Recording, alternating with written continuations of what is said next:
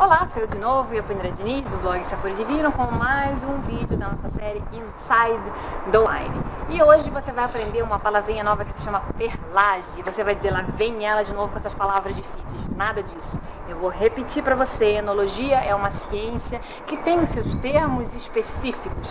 E é uma questão da gente se habituar. E perlage é uma palavra francesa, então ela é específica pra gente, porque os franceses eles conseguem entender muito bem o que é perlage.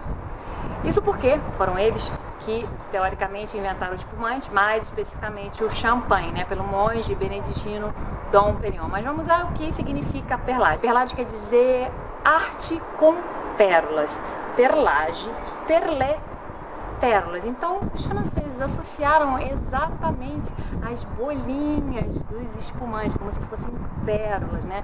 Que aqui na Itália a gente chama bolinhas de bollicine, e eu amo essa palavra. Quando a gente quer pedir um espumante no restaurante aqui na Itália, a gente fala, eu quero uma bollicine. E eu amo essa palavra. Mas vamos à definição de perlage. Perlage é a efervescência do nosso espumante. Sabe a coisa mais legal? É que através desse perlage a gente consegue identificar a qualidade de um vinho espumante. Quanto mais bolinhas tiver pequenas e mais persistentes, melhor é a qualidade do nosso espumante. Tanto para o método clássico quanto para o método charmar.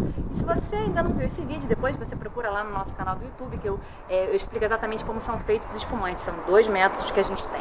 Então agora você já sabe que perlade nada mais é que a efervescência um espumante que você pode medir a qualidade através dessas bolinhas, né? Que são lá pequenininhas e persistentes. Então a gente se vê em breve no próximo vídeo. Não esquece de deixar o seu comentário, de deixar a sua dúvida, de deixar o tema para eu estar podendo fazer mais vídeos para você com essa série de vídeos Inside Wine, rapidinho, que você vai aprendendo sobre vinho um pouquinho a cada dia.